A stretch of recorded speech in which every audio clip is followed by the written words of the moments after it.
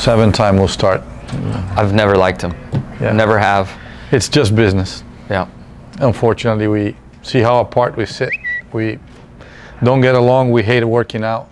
Um, I hope we can share a seat in the, in, physically in the car because I might go to the bathroom in it I.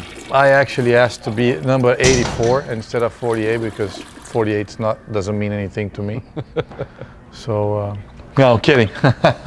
we kind of met, you know, through social media, and then I, when Dario was in NASCAR, I went to a couple races and we we chat a little bit, and and that's how it started it, right? Um, we always appreciate each other's job. I think we always wanted it to drive each other's car. If I go through my phone and I looked at our text messages over the years, it's always about, hey, uh, I'm coming to Miami, let's ride. When are you riding? It was nothing about anything about racing. So, and I remember exactly where I was the day it was when he called, actually. He didn't even text. I was actually on my bike on Zwift at home and, and I picked up the phone and I'm thinking he's going to invite me to either go to Colorado or where are we going to go ride. And he says, "Hey, uh, how about uh, doing some IndyCar together?" I, I was like, "Wh- "What are you talking about?" And that's how I actually started it. So uh, I think we've always had great respect for one another, and then the friendship was able to build.